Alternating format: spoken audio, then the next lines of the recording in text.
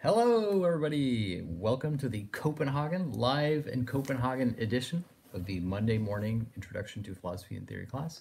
My name is Julian, I'm Jenny. and for the next 60 minutes or so, you can join us for an open access Introduction to Theory class. We're going to be talking about how to be a pervert like Zizek and what the fetish is, and we're going to talk about Lacan versus Marx versus Freud versus Zizek. So it's going to be a fun ride, and stick around if you feel like learning about those things. It's going to be an introductory class, so we're going to try to keep it as straightforward and accessible as possible, um, and that's basically the plan. If you are joining us for the very first time, welcome to our learning community. Um, about a year ago, Jenaline and I launched these classes, and we are currently traveling around Europe teaching and and sort of experiencing different cultures and countries. We are currently in Copenhagen. We are in Denmark. We're eating a lot of bread, Yes, we're And- drinking a lot of coffee. drinking a lot of coffee. Uh, nothing's changed actually. That's sort of our usual. always do. lots and of bread, we're lots of coffee. very much very much enjoying ourselves. So um, we just came here from Berlin. So a big thank you to all of the people who made our Berlin trip possible. Mhm. And we're going to be in Copenhagen for a couple more days. Yes. And then I think we're going to Paris. And then after Paris, we're going to Bruges. Mhm. And then after Bruges, we're going to be going to Seattle. Luxembourg. No, Luxembourg. Luxembourg, and then back to Seattle. Mhm. So, very big thank you to everybody who continues to support these classes, who helps us keep these classes free and open access, and who also supports us in our travels. Um, Yes. If you'd like to financially support us, Jenaline also has an announcement. Julian's ebook is still available. Uh, you can also download these classes as a transcript. You can listen to them. You can join our Discord. You can listen to our podcast. Um, but most of all, we want to know where you are joining us from because, as Julian mentioned, we are doing a bit of a slow whirlwind tour. Uh, so let us know where you're joining us from because it's really important for us that this is a global learning community, that it's open access, that um, all of our lectures are saved. We're coming up on two and a half years worth of weekly lectures. So Crazy. it's just been um, a joy to do. So check out our Patreon, link in bio. That's right, link in bio, or go to www.patreon.com dash Jenaline and Julian. and Julian. exactly. Okay, now that we've gotten that out of the that way. out of the way. Please do let us know where you're joining us from. I see someone from Poland. Uh, I see someone from Spain. And It- from India. It makes us so happy when people share with us where they're joining from. Um, and what's funny is sometimes we meet people by accident. Like, for example, someone sent us a message that they were working in a store and we'd actually been in their store, but they didn't say hello to us. And I- Yeah, we just want to say again that if you see us out there in the wide world, please do say hello. We're always happy to talk to people. We're always happy to say hi or take a picture or whatever. So uh, we love meeting people because otherwise it's just your names on the screen. And so if you do see us out and about in the real world, please do just say hi. We're always available for a chat and we love getting to meet you guys. Yeah. Um, okay, should we It's a just? great trip. Yeah. Oh, it's been such a good trip. Yeah. been really, really Let us dive right in. Okay, today's going to be kind of a wacky class because we're going to be talking about the fetish and about fetishism, um, and and sort of how how fetishism works. And um, there's many different angles that we can approach here, but I want to start with a movie that I really like and something that Lacan is famous for saying. So Lacan has this idea, you may well know it, where he says that the definition of a fool is a king who thinks he is king. In other words, a king who actually identifies with being king. It's a little bit like the quote unquote alpha male who looks in the mirror and says, I am the man, I am the man. It's like over identification with your symbolic order, your mm-hmm. symbolic attachment, is a kind of idiocy at that point. And the perfect example of the king who's an idiot because he believes he is king and the disconnect of that can be found in Monty Python's you know what it is. Uh, Holy Grail. Exactly. and which we have the character of the king who goes out into his kingdom and finds himself faced with a very practical dilemma, which is the dilemma of how he can prove to other people that he is in fact king. And that's also where we get some of the legendary lines from that movie, like the peasant who says, How do you know that he's a king? And the other peasant says, Well, because he's not covered in shit. and in a sense, this is It's what a pretty good indicator. yeah, but this is actually like the perfect encapsulation of the fetish of being king, which is that what makes the king a king, apart from the hereditary order by which he became king, is also the fact that the king is not covered in shit. In other words, the king is kept away from the world of shit. and that makes the king a kind of fetish object. Mm-hmm. The entire society works because the one thing they know is that the king is behind the wall. The, t- the king is like a, a living totemic object. Mm-hmm. And of course, as soon as the king himself steps amidst the commoners, he too finds himself covered in shit, and thereby, in a sense, is no longer king. And the comedic short circuit of the king discovering that if he wants to be king, he's in a sense no longer king, that is the whole punchline of the entire Monty Python and the Holy Grail movie, which is kind of delicious in a mm-hmm. sense, right? The idea of the king who really thinks he is king. You could also think about it in terms of power when it comes to like political power, which is that what makes a good political leader isn't that they think that they have all the power. What makes a good political leader is that they realize that they don't have all that much power and that other people have to convince them to do things within the parameters of what they're capable of. There's this beautiful story from Nixon, President Nixon, who would all the time demand of his chief of staff various things that are utterly impossible. Like, I would like to have this person assassinated, or what if we start World War III right now, or let's nuke the Russians. And part of the job of being a chief of staff was to know the fine line between what does the king, what does the president actually want, and what is the president just saying. And in a sense, that's the political power that the chief of staff has to exert, which is to know when is the declaration of power actually a manifestation of the commander in chief's impotence. The more power the president wants to exert, the less powerful he is feeling. In other words, the more powerless he is in that moment. Of course, when you look at the Watergate scandal, mm-hmm.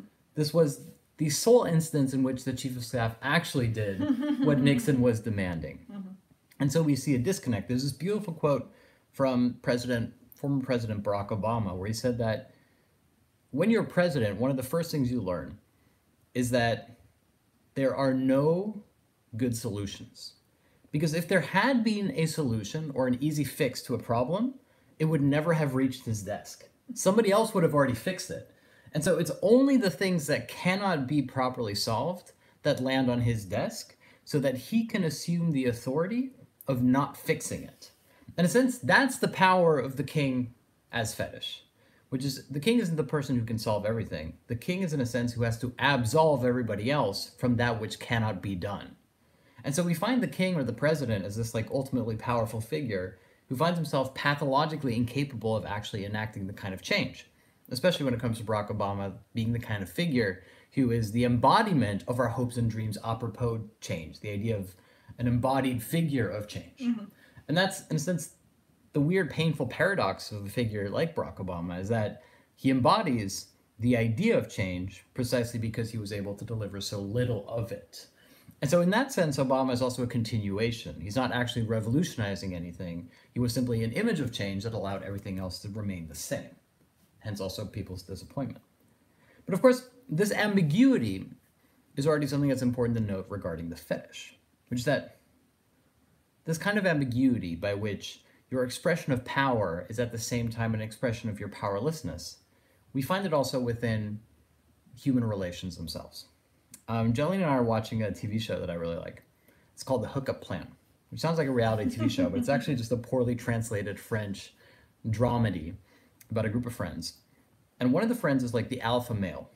And at a certain point, he he is being retrained by his friends. His female friends. His yes. female friends decide to teach him how to be a A well-adjusted proper, proper feminist. a proper feminist, a well-adjusted man, a non-toxic male. And they have basically a list of questions that they present him with, like tests. And one of them is when a woman says no, does no mean no? And he's like, Is this a trick question?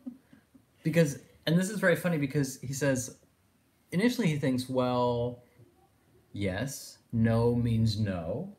But then he starts thinking about his history and all of his sexual conquests and his interrelationship with women. And then he says, Well, what if she says no? And then he starts saying, like, no in like a sexy voice, like, no. and then his feminist friends sort of beat him up, you know? But this ambiguity of no is, of course, exactly where we find the fetish, which is that there's a certain type in which no is expressed within the courtship process, the resistance to the initial courtship, which can either be interpreted as a prohibition, no, I don't want to be bothered by you, or a no, as in, I would like you to be more insistent. And of course, not being able to properly read those lines, that ambiguity, is in a sense precisely where the female power rests. That the woman can then retroactively insist that the no was in fact a hard no or a soft no. Mm-hmm. Now, this isn't to in any way argue against feminism or that we should argue, you know, in the defense of sexual assault or abuse. Clearly, no means no. But being able to insist that no means no is specifically the female position in that regard. Now, here already we have another element of the fetish, which is that the fetish cannot be made concrete when it is directly observed. The meaning of the fetish occurs retroactively. I'll give you an example from Zizek. Remember, the title of this class was How to Be a Pervert Like Zizek. Zizek says that the figure of the pervert, and he has a story for this, is a man who loses his wife. His wife dies. And oddly enough, the man never processes his grief. He never cries. He never has like a period of mourning. Instead, the man becomes excessively attached to a pet hamster. And everything in his life revolves around this pet hamster taking care of it, calling it names, making sure it has the best food. Until one day, of course, inevitably, the pet hamster dies. And at this point, the man has a total mental breakdown, is in utter grief. Of course, you can immediately understand what's happening here. He's not grieving the hamster, he's simply having a delayed response to the grieving of his wife. In other words, having the hamster was simply a way of avoiding the process of mourning the original loss, which was that of his wife. Now, for Zizek, this is essentially the position of the pervert. The position of the pervert is the one who finds enjoyment in the avoidance. In other words, finds enjoyment in what Lacan would call fetishistic disavowal. There's a disavowal of the original loss, namely the death of the wife, which is then, in a sense, projected onto the hamster, which is a fetish thereby. And so we have fetishistic disavowal of the loss. This means that the enjoyment that the man has for his hamster, the love and tender affection that he shares with this relatively stupid animal, is in a sense the inverse of the love, the genuine love he had for his wife. Mm-hmm. And so the process by which the man loves the hamster is in that sense perverted because it has nothing to do with the hamster and everything to do with the fact that he cannot process the fact that he has lost the love of his life, namely his wife.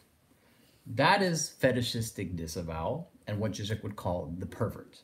The man who loves something because he cannot process the trauma of having lost that which he had originally loved. Okay. Does that make sense? Yeah. Now, to take a step back, one way that we can understand this is to think about Lacan's theory of anxiety. Lacan and Freud have a very different take on anxiety. Freud believes that anxiety is all about loss.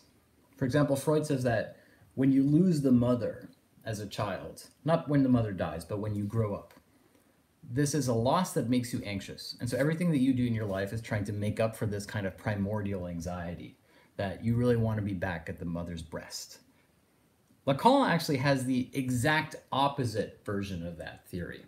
As is true for Lacan most of the time, he'll take a Freudian idea, declare the seeming opposite, and thereby take it into a much more radical direction. And what Lacan then does is to derive a structural inference from that claim, in other words, to then apply the logic of this radicalized Freudian concept to a much more philosophical linguistic premise. Anyway, so for Freud, the idea is that anxiety is how you feel when you've lost the mother. Let's say that you're walking in a shopping mall and suddenly your parent disappears and you experience anxiety. Where are my parents? It's like the subject of many children's books is characters trying to find their way back to their mother. Are you my mother? No, I'm not your mother. My poop looks like this or something. Mm-hmm. Isn't there like a whole series about this? The, no, the mole trying to. Mm. Have you ever read this book? I think it's a mm. Dutch children's book about a mole. It's very Freudian. A mole who like wants to find like his mother by Right, identifying different animal poops. animal poops. Exactly. yeah. Okay. Anyway, now where for Freud, anxiety is all about separation from the mother. In other words, separation from the object of desire. For Lacan, anxiety is about over proximity to the object of desire. In other words, for Lacan, it's not that we're anxious because we're too far away from the thing we want. For Lacan, we become anxious when we're too close to the thing we actually want. Mm. And here you can find like many beautiful applications. For example, think about that teenager that has a poster of like a pop singer on the wall or for could be Justin Bieber or something, or some more sexualized image, right? Mm. Think about a little boy who has not a little boy, like a teenager who has a poster of like some overly sexualized woman on the wall. Now, in a sense, if the woman on the poster suddenly arrived at his door unannounced, what is more likely that the boy would, in a sense, succumb to his fantasy or that he would run away in terror? Of course, it's the latter. In a sense, if the woman of his dreams suddenly actually showed up at his door, he would run away. In other words, the attachment to the sexualized image isn't about wanting to, in a sense, have sex with that person. Yeah, it's not about the consummation. It's about the fantasy. It's exactly. It's not the consummation. It's the fantasy. That's very well put. And the fantasy is there to keep the reality away in check. And so, what the boy fears is sexual maturity. And the best way to keep that fear at bay is to have a poster of the idea of sexuality itself. And so, if the parent is worried about the child having like this sexualized poster, it's not because the child will then become a predator and start chasing women and objectifying them. It's precisely that the sexualized image is the way in which the child keeps the horror of having to do it at bay. Well, I don't want to actually have sex with a woman, so I might as well put a sexualized poster of the woman on there. Mm-hmm. Here we come It's again. kind of distancing. Exactly, and here we come again to the idea of the pervert. A pervert would be someone who then says, Well, I never actually have to have sex. I can simply have the poster. I never actually have to talk to a woman. I can talk to the poster. I don't need to have a girlfriend. I can have a sex doll in my room. The person who never goes beyond the object, which is supposed to be the barrier to the thing. And what's so important here, and I really want to stress the structural process here, is that it's not that the sexualized image, the fetishistic object, is in a sense like the thing that I have instead of sex. It's because I fear sex that I have the sexualized image. In other words, my libidinal investment in the, the fetishistic object isn't because I lack, in a sense, the actual thing. It's to keep the actual thing away. This is also why, like, the ultimate fetishistic object would be a not sexualized image. Imagine again, this is getting a bit ridiculous, but like, imagine the pervert who has an image of like a stiletto shoe. The stiletto shoe would be two things. One, the absence of woman, namely only the shoe. Mm-hmm. But secondly, we end up in like a, this is also part of the appeal of like the sadomasochistic premise. If you are in a situation of sadomasochism, like bondage or something, and the whole point is that you don't do it. The whole point is that you are tied down and that the woman is, in a sense, dominating you. Mm-hmm. That is a fetishistic attachment. It's a, it's a form of perversion in that non normative sense by means of saying, the best way for me not to have to do it with you is for you to put your stiletto into my chest. Now, what's important here is that this isn't a judgment. It's not saying that this is something bad. We're not like kink shaming here. The point is to say that you find enjoyment in the seeming obverse. And not just in the seeming obverse, but quite literally, you find enjoyment in the displacement of the thing you fear. Now let's go back to the, the, the story about the hamster and the woman. In a sense, the woman, the death of the woman, right? Which cannot be properly processed and instead becomes made manifest in the fetishistic object of the hamster. This, in and of itself, is not perverted. Because inevitably the hamster will die. And more importantly, the man isn't saying the hamster is my wife. He's simply saying, I cannot properly process my grief for my wife. Therefore, I have the hamster. And once the hamster dies, I will mourn her. If the man couldn't love the woman without the hamster, that would be perverted. I will have sex with you, but only if the hamster can watch us do it. And here we find ourselves in the properly perverted position in the relationship of perversion to fetishistic disavowal. It's not just saying, I couldn't process this thing, and so now it returns. It's saying, I didn't want the original thing in the first place. What I want is the enjoyment of the disavowal itself. And here we find the perverted gaze. Namely, I don't want to be the active agent of sexual pleasure. I want to be the object of the gaze of the other. In this case, for example, the hamster. You're doing it with somebody else, but what you really want is to stage it for the gaze of the hamster. It's totally ridiculous and crazy, I know, but do you see what I mean already? Yeah, yeah, So there's a structural relationship here between the fetish and disavowal, and fetishistic disavowal as such. Mm-hmm. I'm with you. So far, so good. Yeah. Okay, I'm having a lot. I'm having a lot of fun with this. I didn't even really prepare this class because I was like, it feels weird to prepare it, so I'm just gonna like just talk about it. Um, well, it's funny that you were um, talking about this because you and I started reading a short story by Gabriel Garcia Marquez that has a really great fetish opening, in a sense, that is the girl's long hair. Mhm. I don't know if you're going in that direction or not. Uh, no, I mean we could mention the story. There's a in in the book is called uh, Love and Other Demons, and there is a bit of a fetishistic scene in there, because the father doesn't love the daughter at all. In fact, he's quite content with the daughter dying, until the daughter becomes mortally ill, and he's not afraid of losing the daughter, but instead he's afraid. He what he what he likes is the process of losing the daughter. In other words, he loves the daughter more in the process of losing her. Yes. And it's because he is enjoying the process of losing her that he then decides to regain his faith. Mm-hmm.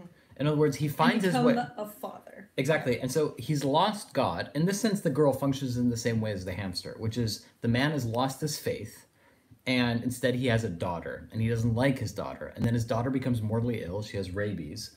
And it's not that he enjoys taking care of her, it's that the affliction that now torments her is a way for him to question God, which for him is a way to question his own disbelief, thereby to find his way back to God. And so she becomes the vanishing mediator of his own rediscovery of his own faith. And so she passes away. And it's a totally messed up relationship between a father and a daughter, in which he can't love the daughter while she's alive, and he can't love her while she's dead, but he can love her while she's passing away. Right. And the passing away of his daughter is his opportunity to find his way back to God, the original loss. If that makes sense. I mean, but I didn't want Yeah. to do a whole. No, no, no. Um, I want to go briefly back to the idea of the fetish when it comes to the king, right? Lacan says that the ultimate idiot is the king who believes he is king. Now, in a sense, the king has to be idiotic in that very precise sense. There's this quote that Zizek likes to mention, um, which is uh, just because he acts like a fool and looks like a fool, don't let that fool you. The man is, in fact, a fool. and and this kind of fool is also the fetishistic fool. And what I mean by that is that the position of monarch is precisely to live in a totally separate space by which everybody has a fetishistic attachment to them. And Totem and Taboo, Freud writes about this, how it's impossible to touch the monarch. There's a great scene in the movie Hero. Hero is a, I mean, that's a translation from a Chinese film. And the plot of the movie Hero is that there's an assassin who wants to assassinate the, I guess you would call it the, em- the emperor, the mm-hmm. Chinese emperor. And nobody's allowed to get close to the Chinese emperor. He's separated from his own bureaucrats by a large staircase or stairway. And the more honor you have as a fighter, like the more treasures or like accolades you receive, the closer you're allowed to access the king. And so what the assassin does is that he assassinates his fellow conspirators. They give up their life, and with each of these bounties that he collects, he's allowed to step one step closer to the king. But what's very beautiful, and this is spoilers for Hero, what's very beautiful is that by the time the assassin has come closer to the king than everybody else, he suddenly ceases to be an assassin. In other words, at the exact moment that he is so close to the king that he can touch the king and kill the king, he suddenly succumbs to the king's point of view. And he says, Actually, I no longer want to assassinate you. Actually, I now believe in your project of imperial domination. And that's exactly what that distance is, which is that what we fear, in a Lacanian sense, isn't the loss of an object. What we fear is over proximity. For the assassin, over proximity to the king is finding the point of view of the king. And this is kind of an interesting thing because if you think about what one of the facets of liberalism, one of the key key facets of liberalism is this idea that we should always inhabit the other person's point of view. That, you know, for example, a, a terrorist is somebody who had a bad childhood or simply processing trauma, etc. Now, even if this is true, it doesn't take away the fact that this idea that we simply put ourselves into the eye or the position of the other already suggests a kind of power imbalance. It's the same power imbalance that works within the logic of tolerance. Who gets to tolerate whom? It's not that I put myself in the eyes of the terrorist. Uh, sorry, it's not I put myself in the eyes of the terrorist so that the terrorist doesn't have to put himself in my eyes. In other words, the thing that we find really dangerous about terrorists isn't the idea that they want to, you know, blow up the World Trade Center. What we really fear is that they might actually want to do it. What I mean by that is that as long as we rationalize the reason for their violence, oh, they had trauma in their past, oh, you know, they were indoctrinated, oh, they're just, you know, manipulated into doing this, in a sense, it protects us. Because the truly horrific insight would be to say, no, what this person actually wants is to kill us this person is actually a fundamentalist and he fully associates with his own fundamentalism. And so the very process by which we say, well, he's a terrorist because he had a, you know, an abandoned childhood, whatever, is a way of us protecting our own sensibilities. This was kind of interesting with like Osama bin Laden. I remember that when Osama bin Laden passed away, um, even earlier, there was they were finding all this information from his life, mm-hmm. like all the the everything that had been found in like the caves that he'd been living in, etc. And the disbelief from the Western journalists was always he actually lived in those caves because there was this narrative that he was simply like an opportunist who was using this entire thing of, of international global terrorism as a way to find own political power and advancement, etc. Mm-hmm. The horrific insight for most Westerners was that this man, as deranged and as evil as he was in that sense, actually believed it. He actually lived up according to his own ideals, etc. And so the ultimate thing that you can do to disenfranchise somebody isn't to say, oh, they were the ultimate evil, but it's to say, actually, they weren't evil enough. In other words, the ultimate way that you disenfranchise somebody is by accusing them of hypocrisy. Like, think about someone like Gaddafi, for example. It's easier to make fun of Gaddafi and to say, well, he was simply crooked and corrupt, etc., than to say he actually believed all the things that he was trying to advocate when it came to like the unity of African nations, etc. Mm. It's much easier to accuse your arch enemy of being a hypocrite than to accuse them of actually believing and buying into the thing that it is. Mm-hmm. The point being, again, for example, when it comes to liberal tolerance, that the idea of liberal tolerance, which is supposed to bring us closer together, let's just see the world through their eyes, is actually a way of keeping us further apart. It's actually a way of maintaining the power structure by which we're the ones who get to tolerate somebody else. We're the ones who actually get to rationalize why they're acting in the way that they do. Am I going too fast? yeah, that? no, I'm, I'm with you. I'm trying to think about if the if we can also say that about white supremacy. If there's the same phenomena that exists, the the liberal response is to just say, "Oh, well, it's not individuals that are racist; it's structural racism instead." I mean, yeah, both can be obviously true, but to say that someone who is genuinely a racist. I mean, I feel I like how we're I'm... I like how we're doing everything we can to make this video not suitable for ads. By the way, you know what I mean? um, okay, so we're talking again about fetishism, fetishistic disavowal, mm-hmm. and about how that process works. Right, and I need to, I need to get back on the rails mm-hmm. a little bit when mm-hmm. it comes to that. So we're talking about the movie Hero and this idea of distance and proximity to the king king, the emperor, is like a totemic object. and that the whole point is that you can't get close to the king because the closer you get to the king, the less king he is in that sense. Well, and the more you go undergo a perspective shift, is that part of the point, or is that Let me let me phrase No. it totally differently. okay? One of the things that, for example, Donald Trump always insisted upon was this idea that if only you got to know me, you would know that I'm actually just a really nice guy. And at the same time, he would be saying things like, I can act with total impunity, I could shoot somebody on the street and it wouldn't matter.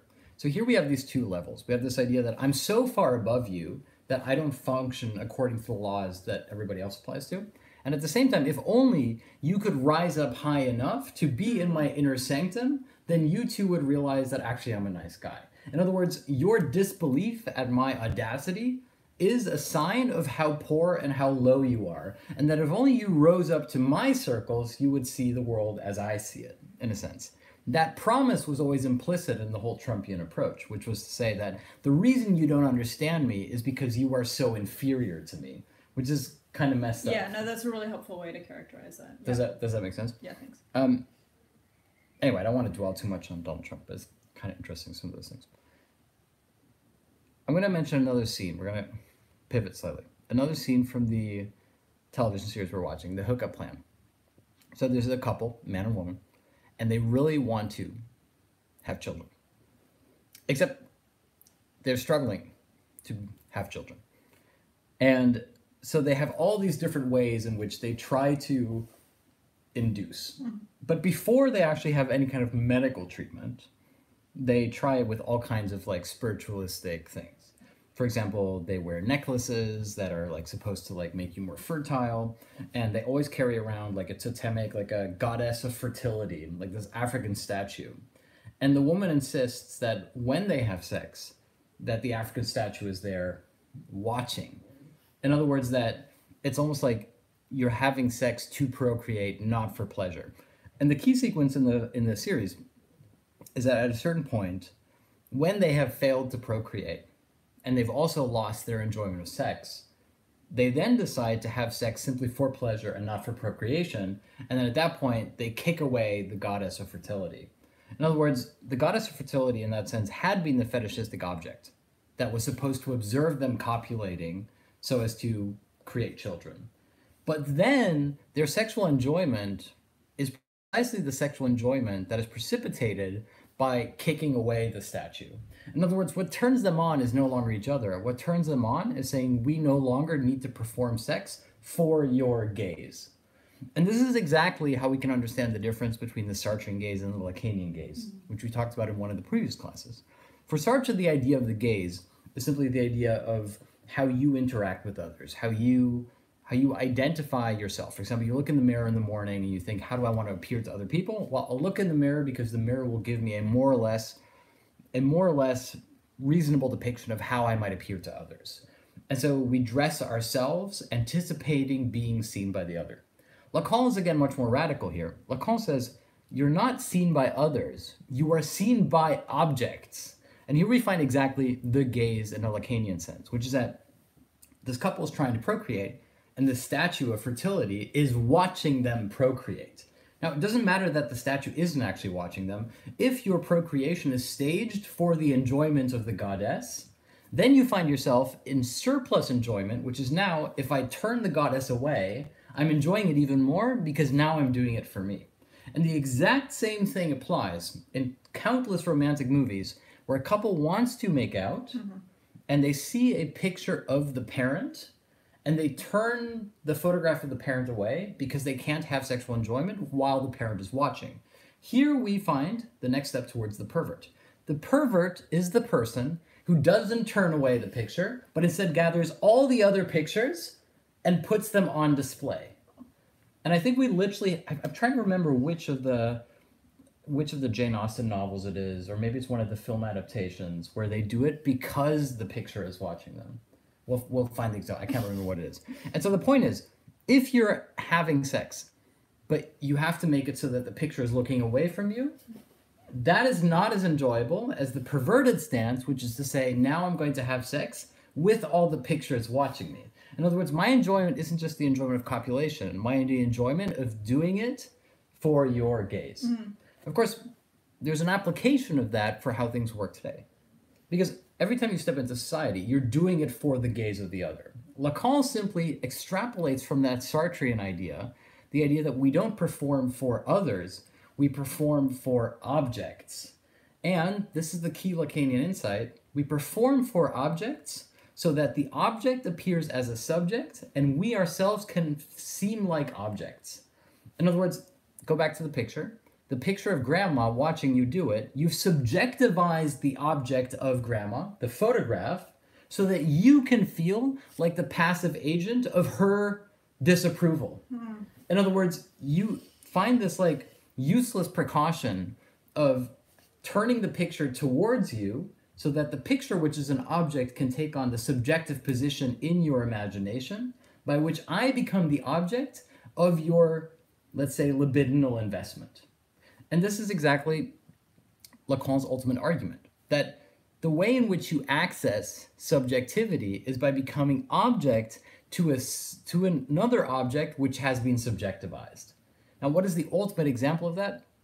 Christ on the cross, right? You put a cross in a room, and suddenly I am the object slash subject of Christ. But it also works in the exact inverse. Remember, there's something perverted in the Christian gesture, which is to say, I am going to die on behalf of all of your sins. That is the perverted gesture within Christianity, which is to say, I am not just dying, I'm not just having the subjective experience of death. Instead, I will become the object of death, the subject slash object, on behalf of everybody else's sins. The perverted stance here is that I'm not just dying for me, I am dying for you. Mm. And so the actualization of the death of Christ becomes the mediation of everybody else's lived existence. That is the perverted stance within Christianity. Does that make sense? I'm with you. Yeah. yeah, yeah okay, yeah. cool. Yeah. I know we're doing like a lot here, but like it, like it makes. That was a that was a deft deft pivot. Christ is the ultimate pervert. But now you're also starting to understand a little bit more what Zizek means when he talks about perversion, mm. right? Which is that per- the pervert is the person who isn't assuming his own enjoyment, but is assuming the enjoyment of the other. In that very sense, Christ is the pervert because Christ isn't isn't assuming the position of his own death. He is assuming the position of having died for everybody else. And this is, in a sense, the perverted aspect of all sacrifice, mm-hmm. right? When you say, I am sacrificing myself for you, for Lacan, we always should be very suspicious. Lacan is totally anti sacrifice. Lacan says every time somebody sacrifices themselves, we should be suspicious about the secret perverted enjoyment that they're deriving from it. Mm-hmm. Now, who's the ultimate pervert when it comes to sacrifice? Mothers. Mothers. Mothers, when they say, could be fathers, of course, I gave up my life for you. 20 years of my life, I did nothing else except take care of you so that you could be a person. Now, that is the perverted stance within motherhood, which is that I gave up my life so that you could live, but now I have to disavow the fact that I secretly enjoyed it. Yeah. That's how you find enjoyment. Mm-hmm. It's also the perverted stance within all parenthood, right? The idea that you set aside 20 years of your life at least mm-hmm. on behalf of this child, which then assumes all your hopes and dreams. Yeah. Presumably. I would much rather um, bake a cake in a stifling hot kitchen if it were for you and I knew that I could say to you, I suffered in this hot kitchen. Because if I just make it for myself, then it's like, why am I why am I miserable Yeah. in this hot kitchen? I'd much more enjoy doing it and then saying you really owe me. yeah. But this is ex- but but this is also like if for Lacan the ultimate like freeing liberalize uh, the liberalizing gesture is to realize that you are your own symptom. This is what that means Yes. essentially. um yeah, but but look, this doesn't have to be all bad. Like there's this quote that I really like from Albert Schweitzer, German theologian and mathematician, who has like a formula of enjoyment. Something very Lacanian here. no, no, this is a precursor to. Is, he's Lacanian avant la lettre here. He says that Glück ist das einzige, was sich doppelt, wenn man es teilt. Which he puts in like a mathematical formula essentially. He says enjoyment is the only thing that doubles when it is divided. Ooh, And here we find nice. the formula of the perverted stance. Now, the what's really important here Mm-hmm. is that to share something makes it more enjoyable, right? You enjoy a meal, etc. The perverted stance is to say, I'm not enjoying sharing it with you. I am sh- I am I am dividing myself on behalf of your enjoyment. In other words, the self-flagellation, which is I am now dividing myself into on behalf of your enjoyment. That is the perverted stance. This is also the sad, the the, the beautiful slash sad perversion within the idea of the clown or the comic. Uh, there's the famous story of Pagliacci. There's a town in which a clown, a famous clown, has arrived, Pagliacci. And one day, a man comes to the doctor and he says, Doctor, I'm so sad. I feel suicidal. And the man says, Oh, well, I have the perfect re- remedy for you. I hear that the clown Pagliacci is in town. Go to one of his performances, and I assure you that you will immediately regain joy. And the man starts crying, and he says, But, doctor, you know this one, right? Don't you see? I am Pagliacci. of course, this is exactly, again, Pagliacci is the man who dies on the cross for everybody else. Pagliacci is the person who, who, who makes everybody else happy. He cannot enjoy his own jokes. Exactly. Pagliacci is the one person who can't enjoy his own jokes. The pervert does enjoy his own jokes. The most like the definition of the pervert, if you will, is a man who cracks jokes and he's the only one who laughs at his own jokes. That is the perverted stance, essentially. I am the object of your own enjoyment, channeled through my own enjoyment. That is the perverted stance. Yeah. It's also the problem of, but this is the problem of all ownership is that like you direct a movie and you can't see it as a movie. Mm. You have a child mm-hmm. and you can never see it as anything else but a bundle of all your own failures. You know what I mean? Like this is the process by which our, our very like over proximity to the object of desire is what we fear. And that we lack a distance. It's the classic idea when you're writing is how can you be a judge of your own writing? Well, step away from it until you are no longer the author of the text, mm-hmm. until you no longer inhabit that own space what we fear is over proximity. And so the barrier that we place between ourselves and the object of desire is the fetish object. In other words, here's the basic formula that we've been trying to approach throughout this class. What is fetishistic disavowal? Well, if anxiety is the anxiety of being too close to the object of our, of our desire, then we create a barrier between us and the object of our desire. And this superficial barrier is called the fetish and it is fetishistic disavowal because we are disavowing the original object of our desire by means of inserting the secondary false thing. And that is fetishistic disavowal. It is the love of the barrier. Mm-hmm. Something similar ha- happens within the idea of melancholy. You've probably heard me say this before. When you're a melancholic, when you're suffering from melancholy, it's because you've lost something, but you've fallen in love with the loss itself. In other words, you've said, the one thing I still have is my pain, and that's what you can't take away from me. That is fetishistic disavowal. Okay, I want to wrap up a little bit. You can you can already start sensing here that we're approaching an argument that goes beyond a Lacanian concept. Namely, Lacan's an idea about Freud. He says that it's actually an idea about Freud and Marx, which is that Lacan argues, and Zizek actually talks about this at length in his book, The Sublime Object of Ideology. In The Sublime Object of Ideology, Zizek says that Lacan said, right, he's quoting Lacan, that it wasn't Freud who invented the symptom, it was Marx. Marx invented the symptom. Okay, so how does that work? Basically, it's about understanding the commodity fetish as a unique type of fetish. And if you want to understand the commodity fetish, you have to start with the king. Let me explain. If in a feudal society we have the king as the totemic object, as the fetishized ruler, the ruler that we cannot come too close to lest the entire hierarchy collapse, we realize that the king is just another guy instead of the sun god. Here we have the fetish of the master slave society, as Hegel would call it, as the relationship of dominion, which is that we have a ruler and we have those who are ruled. The fetish in this society is simply the fetish of the idea that the king is the rightful ruler. It's like Robespierre said with the French Revolution there's no point putting the king on trial to determine whether or not he is a good king because the whole problem is that he is king. As long as you're trying to decide if the king is a good king or a bad king, you haven't structurally addressed the problem, which is the problem of kingship itself. The whole point of the revolution is to get rid of the monarchy, not to create a better monarchy. And so the fetish within a feudal society is precisely this idea that the king is inherently innately king so that we can all be free citizens of the king. As long as you are within that relationship of dominion, that is the fetish, the relationship of fetish to the idea of the master. Now, within the commodity fetish, the idea, and remember, this is really key, and many people don't appreciate this about Marx. The commodity fetish is supposed to be a good thing. The commodity fetish is supposed to release you from the feudal relationship.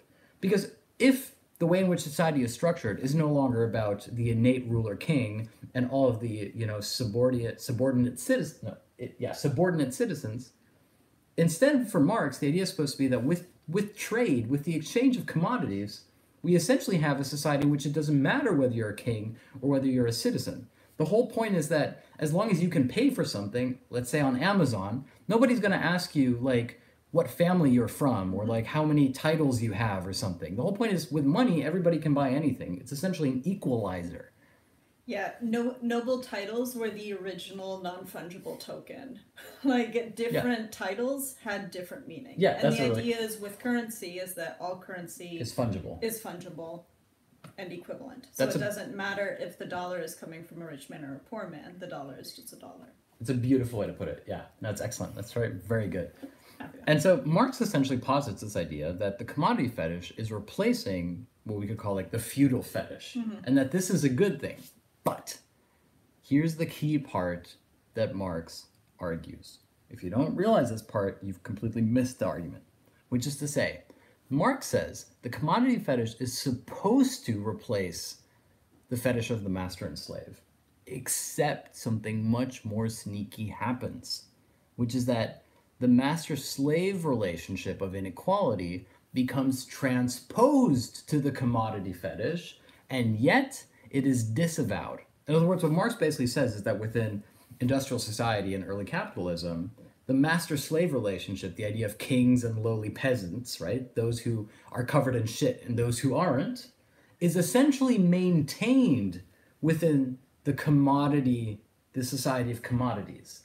And so instead of having money setting us free and money making us all equal, money retains inequality under the name of equality. Mm-hmm. That is the Marxist idea. The commodity fetish is simply the process by which we remain unequal under the guise of being more equal. Or in like George Orwell has exactly the same in Animal Farm when he says that we are all equal, but some are more equal than others. And so suddenly, instead of saying we have king who's up here and citizens who are down here, we have everybody is equal, but some are more equal than others, and those are the ones who live in the gated communities, etc. and so Marx's argument is that what should have liberated us from the feudal fetish, which was the disavowal of the king as actually a person, has led to the commodity fetish, which is the disavowal of the inequality that remains embedded within the idea of equality itself. In other words, that we don't have two sides of the coin. It's not saying on the one hand we have inequality and we have equality. This is also why the liberal argument that like the way to tackle inequality is to simply make society more equal falls apart. The way in which structurally inequality is maintained is precisely by insisting that everybody is equal, that everybody has the same challenge, the same op- opportunities of participation, and so on. The more we insist on the fact that we want to make poor people more equal, the more we've rationalized the innate inequality necessary to continue capitalist exploitation. That is Marx's argument. And so what Marx is arguing is not so much about commodities, it's about fetish. It's about the fetishistic disavowal within a bourgeois society, which he calls bourgeois morals, by which the more we pretend that our society is actually about equal opportunity, the more we can uphold the innate structural inequality within that society itself. And so in a weird way, this makes capitalism a less honest society for Marx than a traditionally feudal society in which you have someone up here who was born into it and someone down here who was born into it.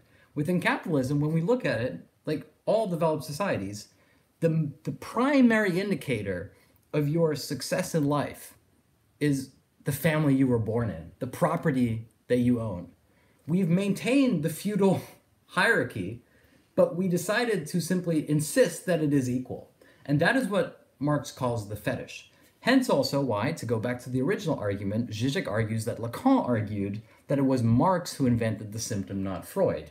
Because capitalism is, in that precise sense, symptomatic because the very energy that goes into the exchange of commodities and the pursuit of happiness and riches is precisely the process by which we all tell ourselves that it is not because we are all chasing the higher rung within an unequal system, but that we're all in the collective pursuit of a more equal society, a more perfect union. Mm-hmm. And that fundamental disconnect is what Lacan would call the symptom and what Marx calls the commodity fetish. And so the very way in which we enact our own existence within the structure becomes disavowed. That is the disavowal that Lacan refers to as a symptom, that Marx refers to as a commodity fetish, which has to be upheld through what he calls bourgeois morals, which is what Zizek calls ideology. Ideology is the process by which we learn to act and believe in the system as it is, as active agents. That's basically it. Does that all hold together? That holds together. All right, cool. I'm with you. Then I think we should just wrap up here. A little bit early today. Sounds good. I think we should wrap up. I like that. Well, we're going to take this to Discord in a few minutes and maybe talk about this a little bit more because I think that uh, in the previous classes as well, you've done a nice job of linking it back to capitalism and exploitation. Uh, and we actually had some questions about that. So cool. maybe we'll do a little bit of that on the Discord. I just want to say, like, it was super fun for me to teach this class or this lecture. Like, I really like talking about perversion and weird, weird sex stories and linking all of that back to the idea of capitalism. It's super fun for me, and I hope it's also been enjoyable for you. Um, if you if you just tuned in, you can watch this entire thing on IGTV where we're going to save it, or you can also download it as a podcast if you're a patron. And if you want the more condensed version, I also have an ebook. It's called Five Keys to Zizek. It is less than 100 pages. It's a pretty easy read. You can probably get through it in about a week or if you're very ambitious in a day. Mm-hmm. It's called Five Keys to Zizek. It's available exclusively for patrons, and um, I'm sure that my goal is basically to like take what I think are the most important ideas that Zizek has, the ones that I feel like you need to know, and I put all of those into a very short ebook. So if you'd like to download that ebook um, and also thereby support these classes, you can find that exclusively on Patreon. The link is www.patreon.com dash Jenaline and Julian.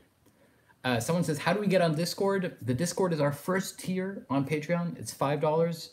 Um, and all you have to do is click the link and we will get you signed up in the next five minutes or so so that you can join us for the live q&a because we always do like an extra bonus hour where we take your questions and we record it as a podcast exclusively for patrons on that note thank you guys so much yeah thank, thank you, you for starting your week with us thank you for joining us here live in copenhagen and next week, we're going to be in Paris. So, on that note, see you later.